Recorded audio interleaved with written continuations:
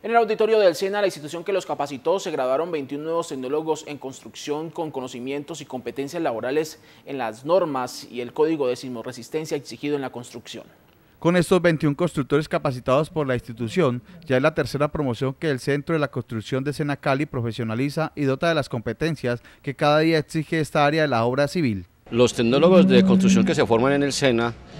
dentro de las competencias y las cualidades y las competencias que deben de asegurar es que conozcan y manejen el código sismo resistencia, la norma SR10 del año 2010 donde establece cuáles son las condiciones mínimas que debe tener una, edificación para que ante cualquier evento de, eh, digamos, telúrico pueda resistir. Entonces, para la ciudad de Buga, contar con tecnólogos en construcción formados por el SENA, pues es una tranquilidad y es una seguridad para que las obras que se vayan a hacer allí,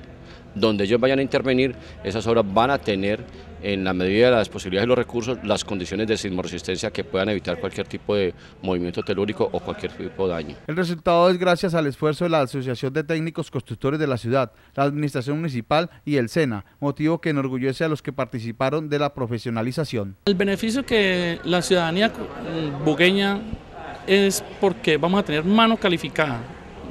De pronto las construcciones no van a tener a gente empírica, de pronto que van a tener algún daño en la casa o algún problema, pueden consultar con nosotros y las cosas van a quedar con todas las, las de la ley, como se dice, pues en sentido de urbanístico,